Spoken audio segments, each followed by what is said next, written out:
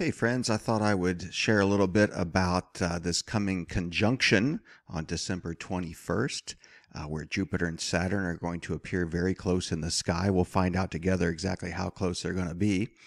Uh, just want to teach a couple quick lessons along the way. Uh, this is the Stellarium program here I'm using, and I decided to include this orange line here. This is a special line in the sky called the ecliptic.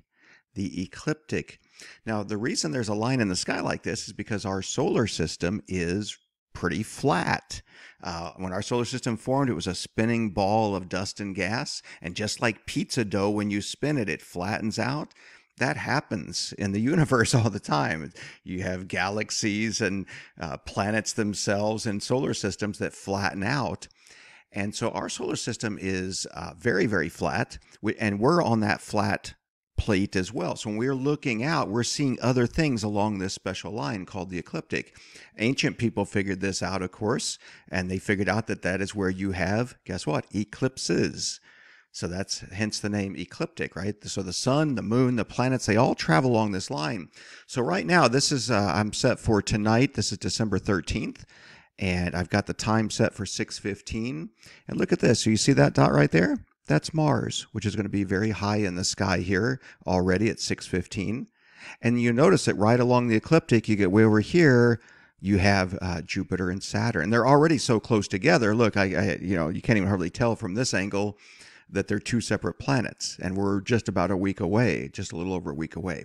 So anyway, I uh, just thought I'd share that with you about the ecliptic. It's kind of neat. So for now, let's just zoom in uh, a little more on that patch of sky and see what's going to happen here uh, over the next. Yeah, let's zoom in a lot here.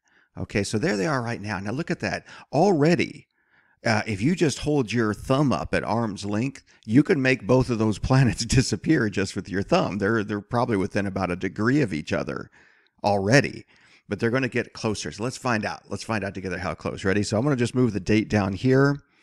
Uh, we're on the 13th, 14th. Keep watching the dots in the sky. 15th, 16th. Ooh, the moon's going to make an appearance there, but not too close. The moon's just a little few degrees off the ecliptic, or it can it can cross the ecliptic, um, which is when we have eclipses. But anyway, look at this: 17th, 18th, 19th, 20th. Look at that, 21st. So these planets come together in the sky. Now, keep in mind, they're not actually close to each other. Okay.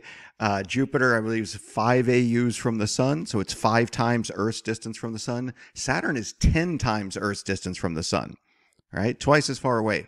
So they're nowhere close to each other. I mean, that's that translate. That's about uh, about a half billion miles, roughly about a half billion miles farther.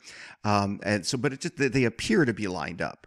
Okay, it's kind of like if you take your thumb and line it up with some distant tree, it doesn't mean that your thumb and that tree are anywhere close to each other. It just means that from your perspective, they're lined up. So that's what we're seeing here. This happens about every, I think it's, read this, it was about every 20 years, I think, Jupiter and Saturn.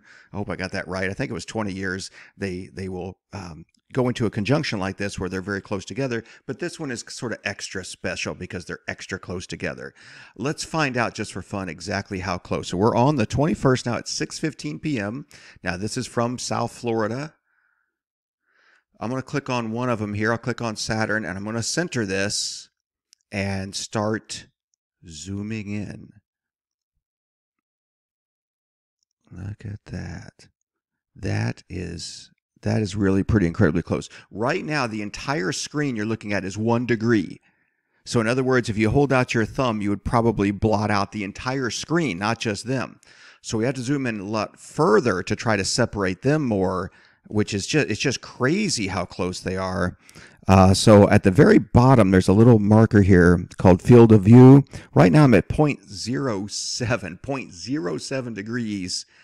Uh, that's incredible. That's incredible. So that's what we're looking forward to on the 21st.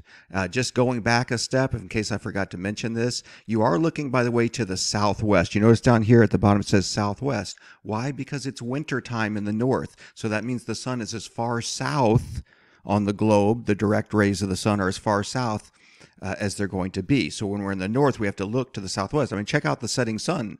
Uh, you know, it's setting in the southwest. It's not sitting in the west right now. It's setting and rising, for that matter. Uh, it's rising in the southeast and setting in the southwest. So everything shifted southward because it's winter time in the north. Cool stuff. December 21st. Let's just hope for uh, clear skies.